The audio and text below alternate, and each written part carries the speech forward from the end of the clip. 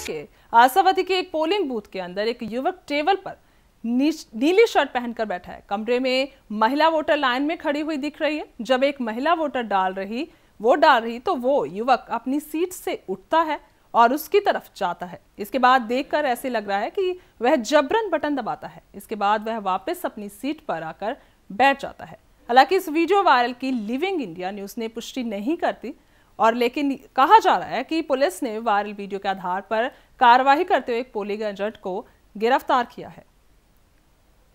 जैसे हमारे पत्रकार ने भी हमें इस खबर के बारे में बताया कि इसके खिलाफ कार्यवाही हो रही है।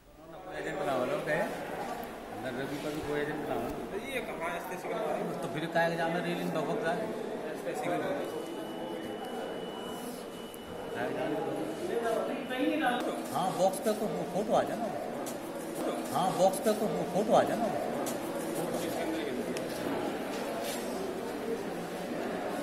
और रवि तो नागे रवि रवि तो नागे देखिए। आपका ना रवि बनो ना कोई